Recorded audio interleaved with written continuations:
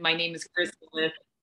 Um, I am the executive director of the special initiative on offshore wind, and I'll talk a little bit about about who we are and uh, and what and what we do. Um, but first, I wanted to go ahead and start sharing my screen and make sure that we're all set on the technical side of things.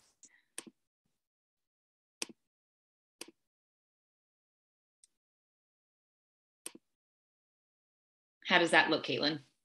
Yep, looks good. You're all set. Okay, great, great. So offshore wind in New Jersey and beyond. What we're going to cover today, uh, there's an overview slide up now. Um, we're going to talk a little bit about the special initiative on offshore wind, uh, do some level setting on how offshore wind works, uh, you know, just kind of a little 101 for folks in case you haven't been following along on that. I know we have all different levels probably joining us today. I'll provide a global and national overview on what the offshore wind program is at a national and global level. Uh, dig down into the regional perspective, uh, and then finally uh, directly to New Jersey and what things are happening in and around our state. We'll talk a little bit about the opportunities and challenges of offshore wind and uh, my favorite topic, which is uh, ocean user coexistence or compatibility of offshore wind with existing ocean uses. So that is our agenda for today. And again, starting off, just wanted to share with you about the special initiative on offshore wind. Uh, we are a uh, we're a policy think tank who relies on fact-based research and multi-sectoral collaborations and convenings. We provide expert analysis, information sharing, and strategic solutions to advance the responsible and sustainable development of offshore wind. Uh, we particularly work uh, for uh, usually for state and federal agencies who need policy guidance, technical expertise around these issues. We're guided by a steering committee of diverse interests. And to note, we are not a trade organization. We have uh, private foundation funding which helps support our objectivity and the unique approach we have in the sector to our work around offshore wind. Uh, wanted to start out with a little bit about how offshore wind farms work. So on the slide now, uh, you can see a schematic that just gives a really basic layout of a typical offshore wind farm. And, you know, by no means is this at scale or, you know, representing, you know, necessarily a particular wind farm, but just to give you an idea of, of what a wind farm uh, would look like typically. Um, you know, kind of the star of the show are those offshore wind turbines. You'll see three of them depicted here on, on the image. Uh, those wind turbines are the elements of the project that are actually generating electricity as the wind blows and those blades are turning. Those three blade rotors are the most common uh, by far of the wind turbines in the in the market of those horizontal axis turbines. Um, and we're we, there are there are thousands of those turbines and we'll talk a little bit about where they are in the world already installed in the oceans uh, those turbines are then secured to the bottom by a foundation by the sea, to the sea bottom. And uh, we'll talk about the different foundation types, whether fixed or floating in a subsequent slide. From there, you can see the purple line that's outlined there uh, in the ocean, which represents the, uh, the, the, the, the cables that run in between the turbines um, and then collect all that power and deliver it to an offshore substation. That offshore substation collects all the power together, does some amazing electrical magic that I can't say I know much about, but converts the power in a way that makes it suitable for uh, you know long distance transmission. And then an export cable takes that power to shore. Now, depending on the size of the project, there may be more than one export cable, there may be more than one substation. So a lot of these, uh, you know, just like there may be and, and usually are more than three wind turbines, uh, there, you know, these all these details are subject to change, but just to give you an idea of a schematic. The onshore substation then collects all that power together and you know maybe you've seen these types of electrical infrastructure in your communities already you've seen maybe a switch yard or if you have those large overhead uh, transmission lines you'll see a, an area where all of those power cables come together in a bit of a collector system that is, uh, you know, kind of a typical either an open air or a housing that uh, is that onshore substation where all the power comes together. And then the power is circulated on the grid through the overhead transmission lines. Uh, typically, all the cables are buried until you get to that overhead transmission line portion of the project. And then it's delivered just like any other uh, electrical generation source using those, those overhead lines, those transmission lines. And the power is then delivered to homes and businesses in the region. As I mentioned, there are a few type of foundation types, and they are shown here on the slide kind of uh, moving left to right. That monopile foundation is the, the one that's used uh, most commonly around the world, that monopile foundation. And uh, you can think of it like a typical, like a bridge piling or a dock piling. Uh, they're typically uh, round structures that are piled, eh, like a monopile there, piled into the seafloor. And it would really depend on the size of the turbine and the geotechnical conditions of the seafloor as to how deep that is buried or to uh, the size of that monopile. And each one is designed specifically for that location. There are also jacket or tripod foundations. They're typically used in slightly deeper water, but they are also fixed to the bottom those foundations uh, are used, and I'll talk a little bit about this at our nation's first offshore wind farm, the Block Island Wind Farm. Those are jacket foundations, uh, but less typically used internationally. Um, and then further offshore, where the water is too deep to fix a monopile or a jacket, uh, there are uh, floating technologies being deployed. I don't know a lot about them, frankly, because they're typically used on other coasts than the Atlantic coast, where I have worked now for nearly two decades in offshore wind. We don't um, typically see much in the floating environment, but that is certainly something that is in the future and really is the future of offshore wind are these uh, floating structures. So you can take a look at some of those on the right hand side of the slide. Uh, I think it's important to note where the wind is uh, in the US, and so kind of where many of the efforts are focused on developing offshore wind projects. Um, you can see on the map in front of you in the orange and red that uh, you know we certainly have very robust offshore wind resources in our region. Um, and what we're finding is that based on advancements in offshore wind and with the turbines themselves, we're able to capture even the lower wind speeds that are, for example, uh, off the coast of Louisiana that are pictured in green. So there's efforts afoot now uh, to try to understand and, and change the technology so that even the Gulf of Mexico can also uh, enjoy some of those offshore wind benefits. So the slide in front of you shows those, uh, you know, purple, orange, and green uh, robust wind resources that we enjoy in the uh, the, the mid Atlantic and, and the Northeast. And, and really, uh, the wind speeds are one important part of the equation, but another important part of the equation with respect to offshore wind is that uh, a large percentage of our nation's population are located near the coasts. Major cities have developed in coastal regions. And so, this way, we can develop power directly adjacent to where population centers are. And that's really a, a, huge benefit to offshore wind for our region. And, and finally, another thing that's important is that uh, there really are not robust alternatives with respect to uh, clean energy options in the Northeast and the Mid Atlantic. We just don't have the space uh, or the resource in terms of wind or solar resources to be siting renewable energy on land. And so that is why uh, it's it's very typical to see and, and why we saw offshore wind, I think, initiated in this region of the country. Because if you look at places like California, and maybe you've been there, you've seen large wind farms that are based on land. But uh, for those of us here who, who live in New Jersey, know that there's not a, a large amount of space to put an on land wind farm or onshore solar system. So offshore wind is a great alternative for our part of the country. I just wanted to step back and give you a bit of a, a global perspective on offshore wind. Uh, right now, we really see Europe and China leading the pack in terms of the installed amount of gigawatts.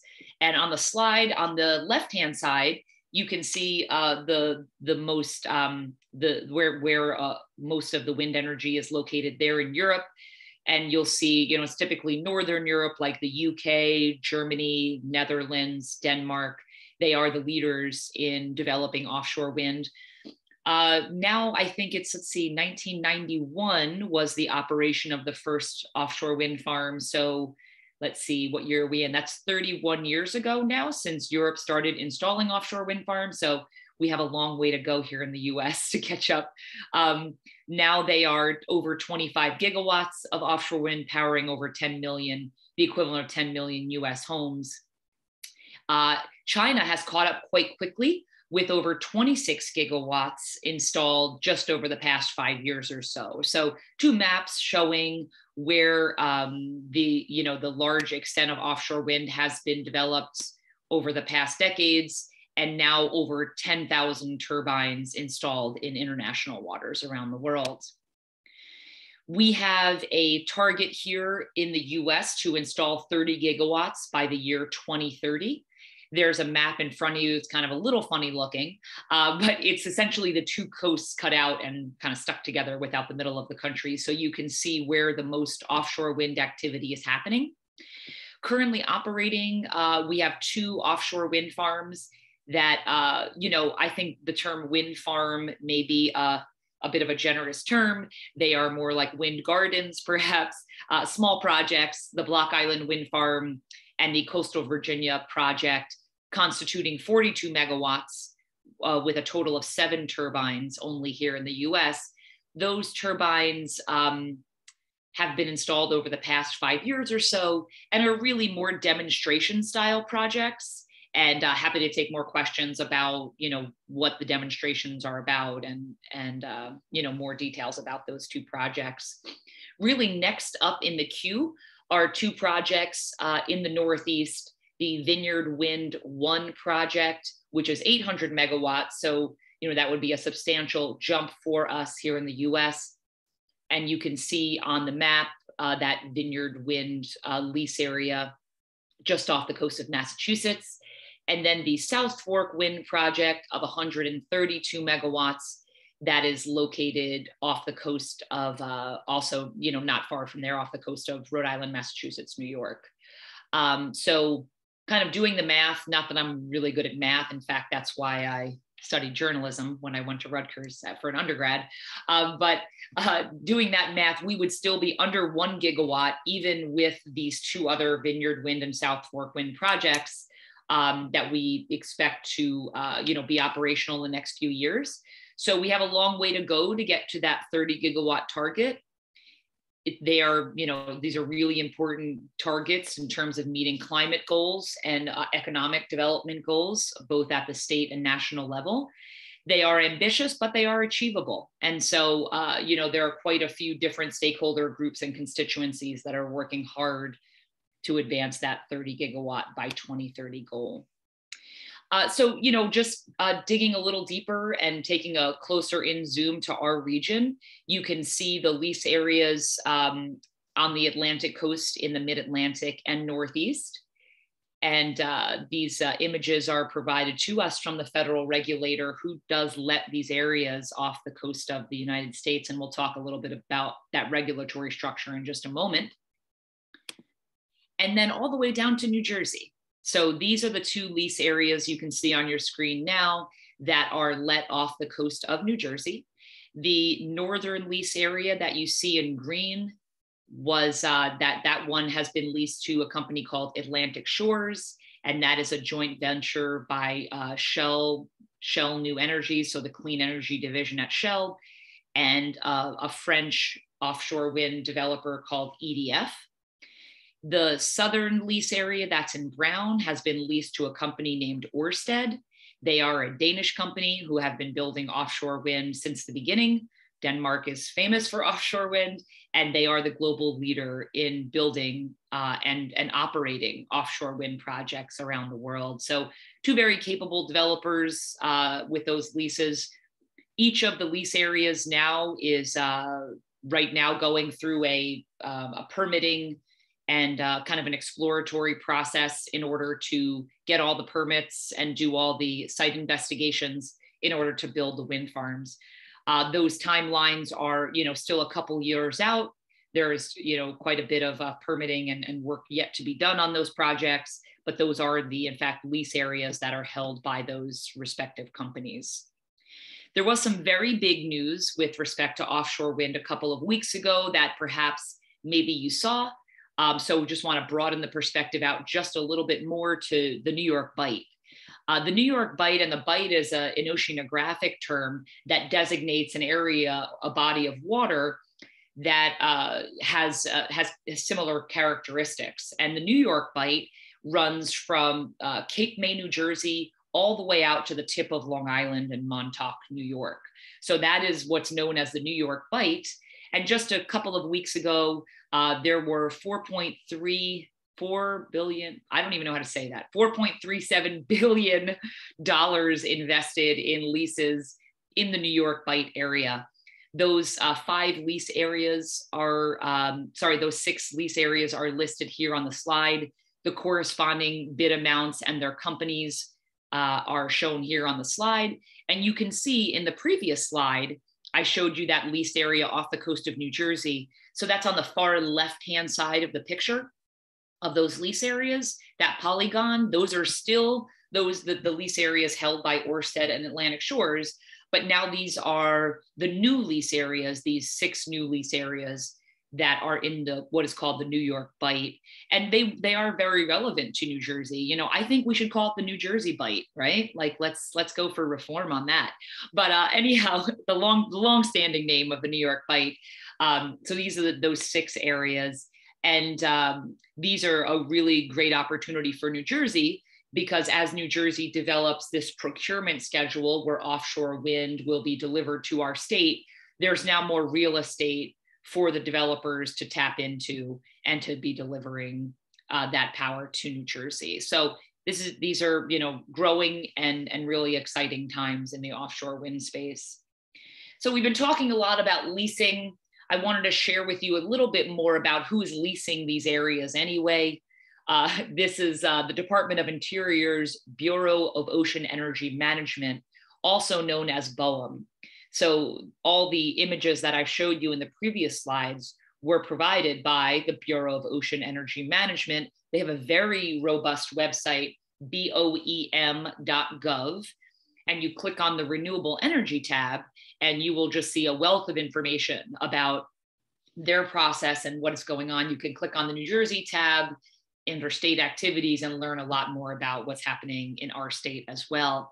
But I just wanted to share with you a little bit about their process on getting to uh, a leasing area and then through to construction and operations. Sorry, I'm talking a lot. I just drink some water. So, um, you know, typically this is a seven to nine year process. So, for those leases that were just let, for example, in the New York Bight, that would come at year zero if you're looking at this chart that is on the slide. So it starts with about a, a, year or two of planning and analysis. And in the case of the New York Bight, it was actually more like, I think, four or five years of planning and analysis where the state put forward ideas for potential lease areas. They met with uh, a wide variety of stakeholders to help refine and reduce the lease areas, in fact, to uh, 75% reduction in the original area that was originally proposed. Winnowed that down to the six lease areas that were let last just a couple weeks ago, and the leases have been granted there. So, taking that on a timeline, the next step for the developers would start to be, uh, you know, kind of doing some surveys out on their spaces, understanding the geological, the geotechnical, and the biological conditions on their sites. The developers then submit what's called a site assessment plan or a SAP. And that site assessment plan allows the developers to, to do site assessment activities on their site. After that, the developers will submit a construction and an operations plan or a COP, a COP, based on the information they learned during that site assessment period. That construction and operations plan is then submitted to the Bureau of Ocean Energy Management for consideration. And BOEM has the opportunity to then approve that COP and then work through the uh, permitting process based on the materials that the developer has submitted about their project. So the New Jersey projects by Atlantic Shores and Orsted that are furthest along, right now they are in that construction and operations phase. So it doesn't mean that they're actually constructing anything. It more means that they are leading up to potential installation, which is the last part of our slide there on the red. So that construction and operations phase is really that opportunity uh, to go through uh, the different parts of the permitting process and, and move the construction and operation plan forward. Um, with respect to how I've looked at offshore wind, and you know, I've been doing this for quite some time now, I really see some discrete opportunities and challenges with respect to offshore wind. So I just want to go through some of those with you now. Um, and then just to give you fair warning, in about five to seven minutes or so, we're going to open up the floor for questions. So I hope that uh, what you're hearing today and learning today is inspiring you and we can have a robust dialogue. Uh, the, the, with respect to the opportunities, certainly the economic development opportunities uh, for the state, region, and nation are, are very uh, exciting and robust the opportunity to create essentially a, a, brand new sector here in the US that's associated with high paying uh, and, and responsible jobs that can be associated with clean energy development. They are career jobs. And it's everything from kind of your kind of typical office jobs like the one I have, um, all the way down to you know site management and facilities, turbine technicians, uh, site development. So there really is a wide variety. Uh, and, and exciting things that come from that are locating manufacturing facilities to, in association with those projects. And so in New Jersey, we actually have two really robust facilities located on the Delaware River. One is at the port of Paulsboro, and one is located at Lower Alloways Creek, both on the Delaware River on, on the New Jersey side. So both of those projects are happening in tandem and that is just a really exciting economic development opportunity for the entire that kind of south jersey area.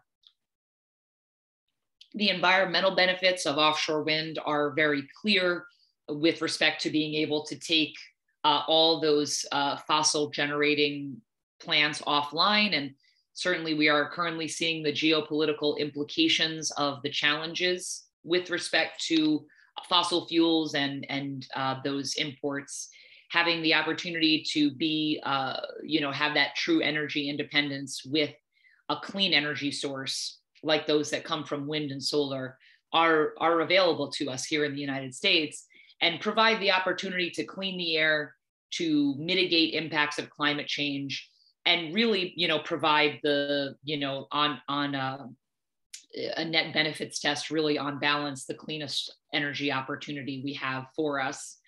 Um, and in addition, really a reliable energy supply. You, perhaps you've seen the headlines and you've seen the movement with respect to electrification of not only uh, you know buildings and vehicles, but in addition, we are uh, you know exponentially plugging in more things than we ever have as a society.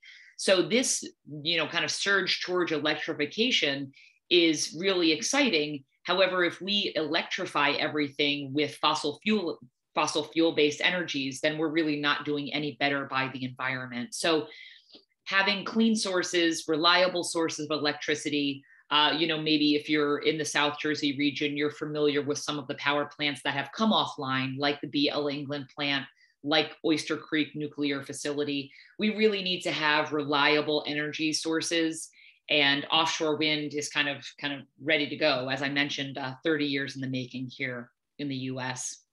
There are, of course, significant challenges in developing offshore wind. Uh, one that comes to mind pretty quickly is the interconnection challenge. Uh, you know, if you think about the way the grid has operated and the way the grid has essentially been structured is that power to New Jersey specifically has been generated in the west and it flows to the east. So typically we have the large generators and then the longer, you know, those bigger transmission towers, and then those finally those little capillaries that make their way all the way out to the coastlines. Well, we are presenting here kind of a fundamentally different approach to delivering energy, generating power in the east and delivering it to the west, which kind of turns the model on its on its head. And so there needs to be kind of substantial upgrades to those coastal uh, those coastal injection points. And uh, there is strong consideration in New Jersey for a shared transmission system, which is an exciting thing actually that I, you know, spent quite a few years of my career working on. But this idea that we could locate uh, a backbone system or a power strip, if you were, out in the ocean environment. And then the offshore wind farms could each plug into that power strip with just, you know, a few of those cables coming to shore themselves. We still need to, though, harden those uh, kind of those injection points at the coastal areas. And many of the states in the Atlantic region are exploring ways to, you know, develop those upgrades and accept that injection of clean energy from east to west. We have some supply chain constraints, meaning that we do not have a well developed supply chain for offshore wind in the United States yet. That's not particularly surprising because we only have seven wind turbines where you know Europe and China have many thousands. And so you'll you know typically see most manufacturing located more close to the actual uh, you know site of those large offshore wind farms. We are already seeing now, though, commitments for those uh, manufacturing facilities to move here to the US. But it's a little bit of a chicken of an egg, an egg thing because, you know, for example, uh, you know, Siemens, who, you know, Siemens Gamesa, who makes some of the turbines, they're hesitant to locate, uh, you know, spend tens of millions of dollars to build a manufacturing facility until they can be sure that there's a pipeline for uh, for their wind turbines. Uh, but you know, I think as we've seen demonstrated, particularly with the New York Bight auction a couple weeks ago, there is very serious interest in the industry, and hopefully, uh, you know, a relatively streamlined and smooth path forward for permitting and the regulatory environment. Uh, the last thing that I would just mention is something that's near and dear to my heart are the complex stakeholder issues that are presented, uh, and that's kind of across the suite of existing ocean users. And, you know, that's everyone from commercial and recreational fishing to uh, navigation and shipping to non-consumptive ocean uses, tribal representatives, uh, you know, of course, the actual resources that swim in our live in our oceans and use it and depend on it. So it's really a balancing act of, you know, working with coastal communities, coastal landowners, um, and all of these existing stakeholders to design projects that work for, for those local environments to help supply this clean energy to the nation. I will just brag for a moment and share that uh, the special initiative did release uh, our supply chain contracting forecast just at the end of last year, which describes how there is a $109 billion revenue opportunity for this supply chain development over the course of the next decade to get to 30 gigawatts. And what's really exciting to me is this $109 billion revenue opportunity is all private sector spending. That, uh, you know, those estimates and our modeling show that, you know, that is what's needed for the private sector to invest. So there is, you know, then opportunities beyond that for, you know, kind of state and federal match, and and you know other opportunities there. But this is one of the largest uh, private sector investments in uh, in our nation uh, and really re- represents a strong opportunity. The falling cost of offshore wind really is uh, what is driving a lot of this opportunity. So you can see that trend line uh, showing that um, the the cost of offshore wind falling precipitously since you know over the past 10 years or so with the red stars on the chart showing the cost of offshore wind uh, for the US projects here in the United States. so you know that also is really exciting because you know i think it's um you know a, a common misconception that offshore wind energy or clean energy is expensive what we really see is that what is expensive is uh, you know having to deal with the associated uh, consequences of fossil fuel development whether that's geopolitical environmental or otherwise um, some of the reasons that costs are, are dropping and we've seen over a 60% drop in europe over the past five years is uh, you know technology development including larger wind turbines the larger the wind turbines are, the fewer need to be installed offshore. And uh, you know, there's a significant capital cost in built, like really the biggest cost of an offshore wind farm are the capital expenditures. So to the extent that we can reduce the number of turbines that are needed to be installed offshore, then you can really reduce the cost, the capital expenditures cost. So that's helping bring down the project cost overall. Uh, in addition, there's much more experience in the supply chain, which helps bring offshore wind, uh, you know, to countries in uh, a much more efficient and economic way. And as I mentioned before, this project pipeline here in the U.S. is uh, assuring the payoff of those supply chain investments from those uh, from those tier one suppliers. Um, you know, thought I would just share a slide. Um, this is also from the Bureau of Ocean Energy Management. Just kind of depict, actually, I think this is from the National Renewable Energy Lab. That part of my slide is kind of covered up by my name. But um, anyhow, that's uh, by the National Renewable Energy Lab, which shows some of the projections of how, you know, offshore wind, uh, the size of the turbines is growing. The turbines that are predicted to be used off the coast of New Jersey are 12 to 15 megawatts in size, but uh, you know it shouldn't be long until you know 17 megawatts 20 megawatt turbines are available. And uh, what one interesting fact is that the components uh, many of the components especially the rotor blades are so long that they can't be transported over our nation's roadways which really just creates more opportunities for the ports so you'll see a real focus on port development, what's called marshaling or staging, because if uh, a wind turbine was to be manufactured in the interior portion of our country, there would be no way to get it to the coast except by vessels offshore. So that's one thing that limits the capacity of onshore wind is that there's no way to move many of these larger components and uh, I'm not an engineer, but uh, the larger the components, there is a formula that dictates how much more energy can be generated uh, when you have uh, the larger rotor uh, blades and such. So I think I just have a couple more slides to go through. Was this just two? Okay, I had a little delay there.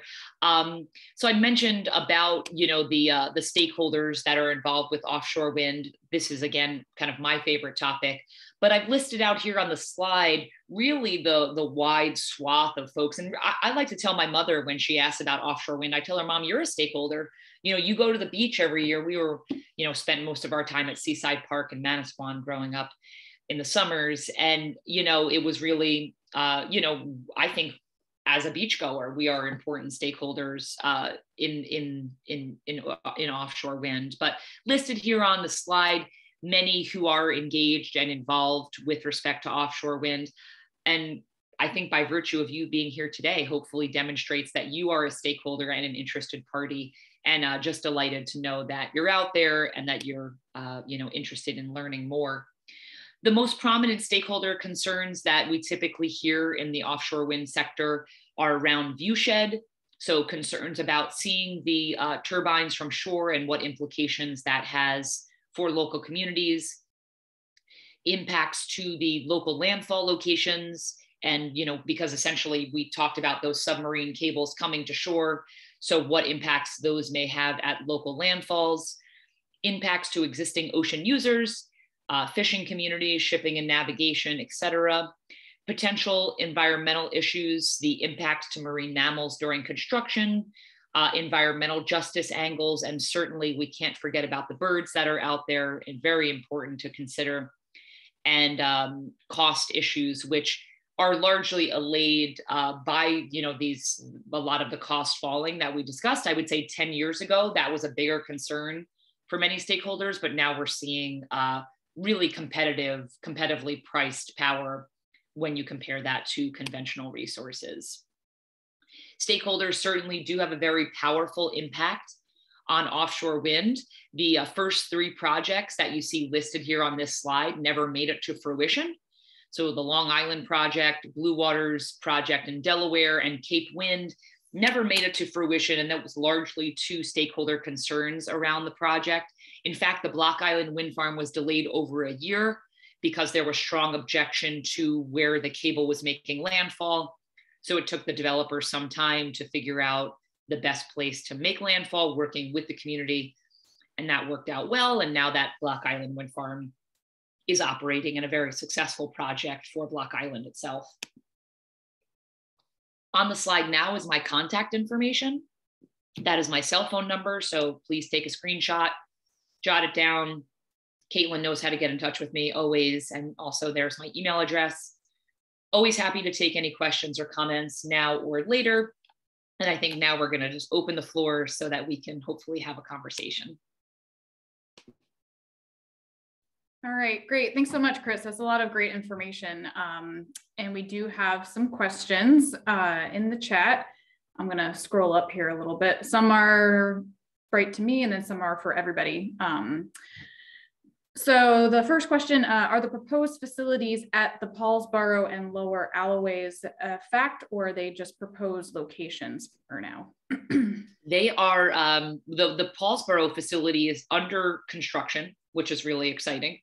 Uh, you, so you can actually go see that. That is a, a facility that's being built by a company called EEW.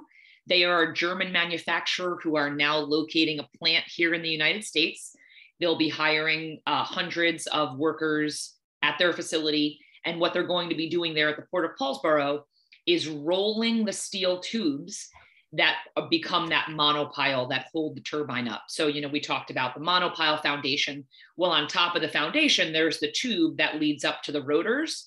They are going to be rolling those huge steel um, columns and uh, then shipping them out to the site for the offshore wind farm. What's exciting is that New Jersey, and you saw on these maps, is really at the center geographically of the activity. So those uh, those wind farms, not just New Jersey's, but really across the um, really across the region can be serviced from that port of Paulsboro.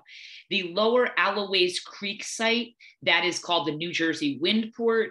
That is the development of that project is being led by the state of New Jersey. And right now they are in uh, the permitting phase of that project. So that is a proposed facility not yet under construction, but has been made significant progress. Okay, great. And then I think the next question, you may have answered this just a few minutes ago, but who is building the Paulsboro facility? Is that that EEW? Correct. Okay. Um, the next question is where are the blades manufactured if we can't build them internally in the US? Uh, parentheses, you may have answered this already. I skipped this for a minute. yeah, no problem. Uh, well, so it depends on um, who the developer is contracting. Um, and I can't remember. I don't want to misquote, but right now they're all being made in Europe. Um, but I think I think France is develop is is building the turbines for Orsted through GE. Um, but don't quote me on that. I think the developers have that on their website. But the short story is they're all being made in Europe now, and they're all going to be floated over here, which is kind of ridiculous. That's why we want to locate manufacturing in the United States because it's not economical or reasonable to be floating these things across the ocean all the time but the develop the, the manufacturers just want to see the pipeline uh, solidified before they build the big facilities here. Right, makes sense. You're taking yeah. a big chance right now to to build a big facility right now. So, mm-hmm. okay. Uh, next question. Uh, last summer, we saw a lot of public outcry against the wind farms from people on LBI who may be able to see the turbines from shore at this late stage of the game. Can this really have an impact on the planning? Well, let me take a step back and and you know maybe uh, you know kind of challenge that question a little bit. We really see kind of overall strong support for offshore wind. There is a vocal minority that objects to offshore wind for sure. They are you know on LBI. They you know certainly are becoming much more well organized. They've in fact filed a lawsuit against the federal regulators uh, they certainly could have an impact on the siting of the wind farms. There is still a lot to do. There is still the entire spectrum of the permitting process that needs to be gone through. All of those permitting processes have public comment opportunities, alternatives analysis. There's something called the National Environmental Policy Act or NEPA that needs to be complied with anytime a federal agency is it, you know has a, what's called a major federal action so granting a, a, permit to build a wind farm would be constitute would constitute a major federal action. So in complying with NEPA, you will see many comment periods coming up. Maybe you've seen other infrastructure projects built, and there's an opportunity to do uh, to provide these comments. Mm-hmm. The yep. agencies want to hear, you know, so like with Vineyard Wind, for example, that next 800 megawatt project that's in construction. You know, there was something like 15,000 public comments that came in, but it was, you know, 14,000 public comments that supported the project and a thousand that didn't. And so the regulators try to bring together all that information and deliver the best project for the majority of our country. Gotcha. Okay, good to know. Um, someone also just said great information. Um, next question was uh, what happens at the end of the life of this project? Do you remove the installation? You do yeah they're they're fully decommissioned um, okay. and that what the developers do now is they put money in a bond that is held by the federal government to account for that decommissioning you know for example if the project is sold to another developer or the developer you know is insolvent for for whatever reason the money is set aside and the plans are are uh, set up now so that at the end of the lifespan of the wind farm which is typically 25 to 30 years that project could either be repowered with different turbines on top or it would be removed altogether. Okay. Um, next question, or actually might be a comment. Um, I read an article that the power may not come ashore in New Jersey. Connecticut is making a bid to be the location for bringing the power ashore and getting it on the grid. Seems unfair that the turbines will go offshore or off the New Jersey coast, and New Jersey might not get the power plant and jobs that go with it. I understand Oyster Creek is a perfect place for that. Um, so yeah, um, what do you think? Yeah, not true. Um, they're uh, okay. both all the, the New Jersey projects will all deliver power into the PJM grid here in New Jersey. Pretty uh, clear plans are laid out with each of the developers on where they would make landfall with their respective projects all of the states on the Atlantic coast, except for Delaware, do have procurements to bring power. So Connecticut will have power delivered, but that's from a project called Sunrise Wind, which is a different project altogether in okay. the Northeast. So maybe there's so many projects out there, it's really hard to keep track. So I know it's like you read a headline, you think, oh, how does this impact New Jersey? That's when you just text me and be like, hey, Chris, I heard about this project, you know, like help me understand. So, yeah, those two projects will make landfall. And it's ironic because some people don't want the cables to come to New Jersey. So, mm-hmm. the cable making landfall in New Jersey doesn't really change the economic development opportunities for the state, you know, okay. because just, that's just trenching a cable and, you know, bringing it to shore. So, okay. And I said, thanks for clearing that up. Yeah. yeah.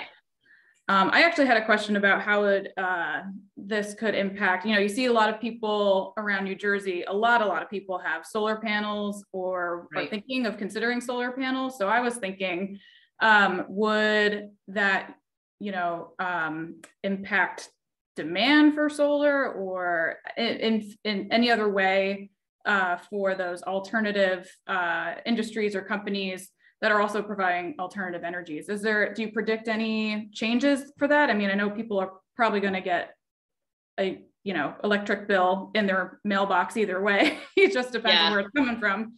Um, yeah. What do you think?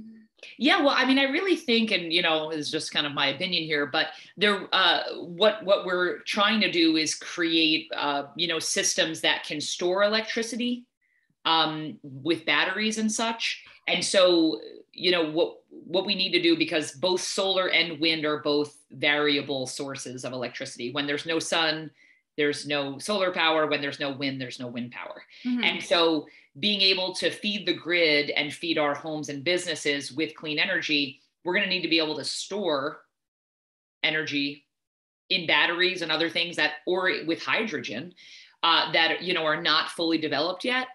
I think we really need an all of the above strategy. I the solar the the, the solar markets. If you think about it, Caitlin, um, when you build an offshore wind farm, it's a it's a commercial. It's like an industrial plant. It's like building BL England or building Oyster Creek. When you put a solar panel at your house, that's what's called distributed generation. So that's no longer commercial.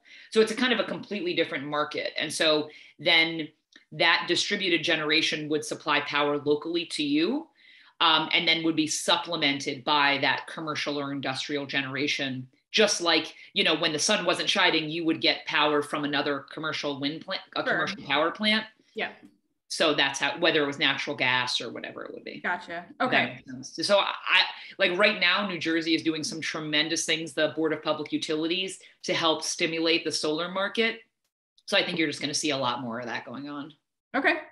Interesting a few more questions. Uh, will we see an increase in our electric bill before we see a decrease? Well, what's very interesting is that um, what I would like to model is right now our dependence on fossil fuels is strong. And so, what impact the geopolitical conditions are will have in increasing our electric bills because original model showed that each ratepayer in the state of New Jersey would pay $1.46 per household per month for Ocean Wind 1. Okay, $1.46 per month. But that was based on numbers from five years ago, four years ago now.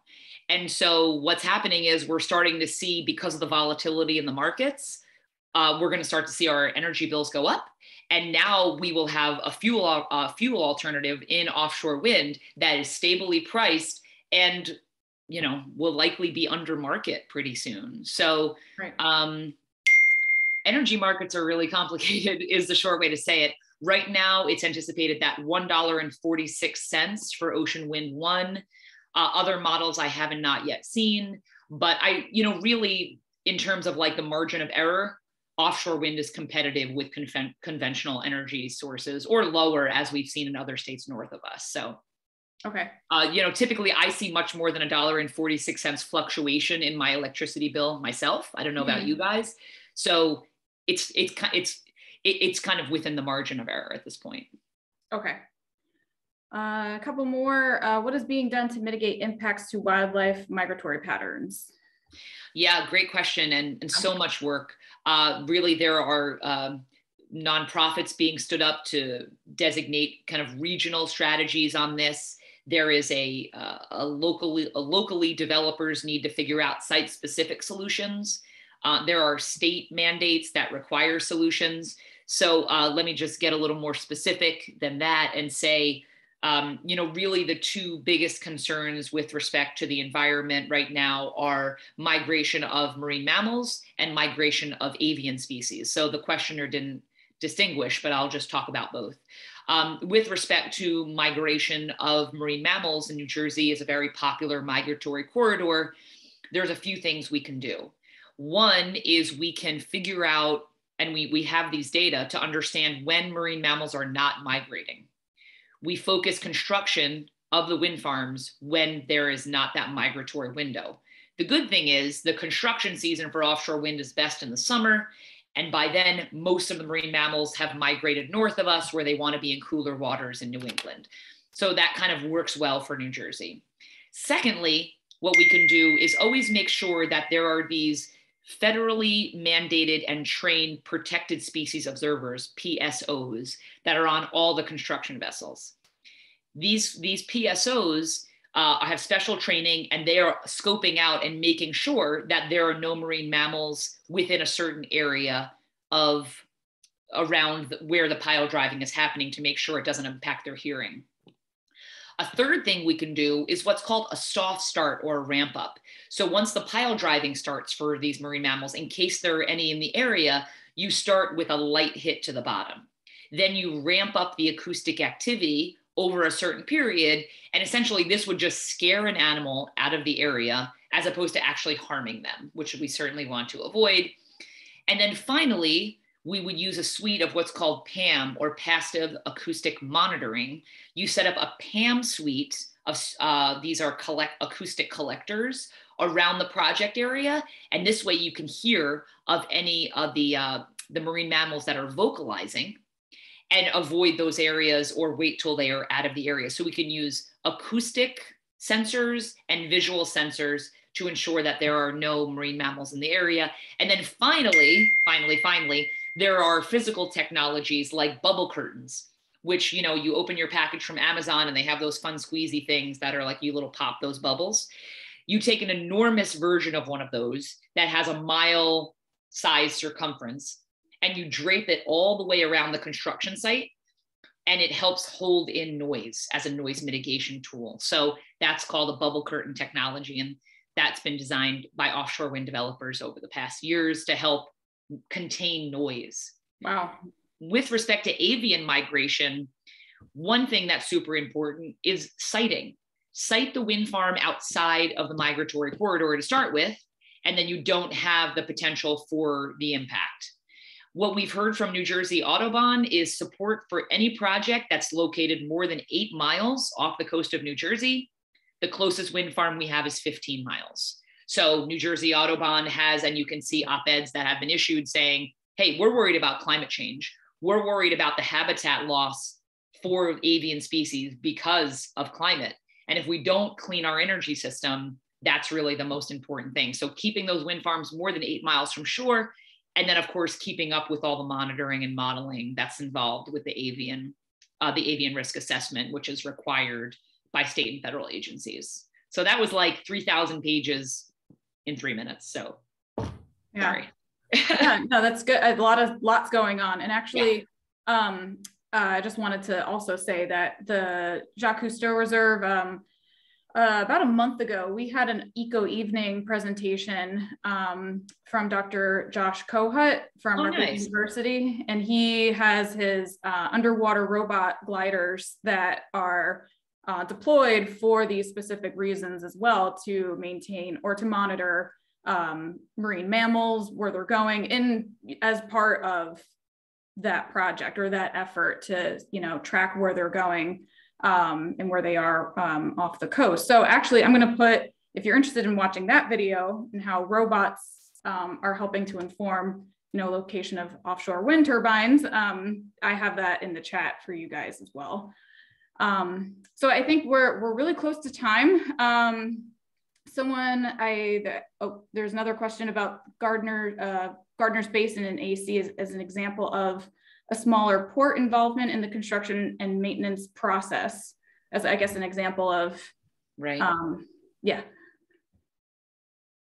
Oh I guess that, that they were asking that as a question. Oh or, I'm sorry. is it an example? Yes, yes. it is absolutely an example. Um, okay. the um, the Orsted is is building um, an operation and maintenance facility there. So that's exciting. It's been a disused and um, a contaminated site in the Gardner's Basin of Atlantic City. For many years, it was abandoned by ExxonMobil and has been leaching chemicals and mm-hmm. going there and cleaning it up and building a beautiful new facility where the vessels will go, you know, in and out and you know provide operations and maintenance, providing jobs uh, for the folks in and around Atlantic City, and uh, really, you know, kind of rehabbing an old sad site. So that's yeah. a, a great story. Cool. Uh, yeah, that's that's good to hear. Um, and then uh, someone was wondering if we can get a copy of the slides. Sure. Happy to send okay. those to you, Caitlin. Yeah. Yeah, yeah, and I can email it out to everybody that attended today. And then final question uh, before we uh, wrap things up, uh, is the developer also required to monitor marine mammals during site assessment surveying of the seafloor? Yes depending on the equipment they use so they usually get you know permits based on the level of noise that they're emitting with whatever instrumentation they need to use It's called Incidental Harassment Authorization from the National Marine Fisheries Service. And that IHA, as it's known, will have certain mitigation requirements uh, from the federal regulators. Okay. Um, all right. So, oh, we did have one more if you have time for one more. Uh, sure. Yes, I do have a, another 130, but happy, happy to take one more. Oh, okay. Uh, quick uh, then questions about turbines during a hurricane or storm. I've often thought about this myself. Yeah, well, so the turbines themselves are rated for a hurricane, uh, a category four hurricane, which, you know, we typically don't see here in New Jersey, fortunately.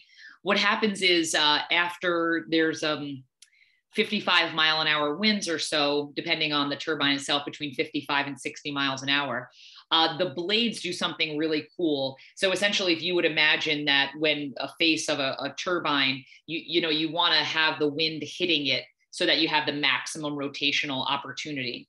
But what happens is at 55 or so mile an hour plus, the wind turbine turns itself so that the wind blows past it and a brake is applied so that the rotors don't continue to, to spin anymore. And so the winds blow right past it. We actually had a front row seat to the ACUA in Atlantic City. They have a, a webcam. Mm. And uh, during Superstorm Sandy, it was the most viewed webcam in the state because people wanted to see what would happen. And those, frankly, older model turbines uh, fared very well. Oh, so yeah. um, they've survived storms in the North Sea for 30 years. So there's there's engineering opportunity there. Yeah. Okay. Yeah. Good to know. And uh, well, I think that's it for our questions. And um, I would just want to say, Chris, thank you so, so much for all of that information. Um, great to hear about what's going on um, and uh, you know we'll continue to keep everyone posted as as the progress continues or as things uh, you know um, move forward um, and uh, i just want to give you a, a, virtual round of applause for all of the great information that you shared um, and uh, i just want to thank you again for uh, coming out and talking to all of us about this um, so I, I think that's it for today. I also put in the chat um, the information about our upcoming programs, my email. Um, I'll email you all Chris's slides if you're interested as well. So keep an eye out for that.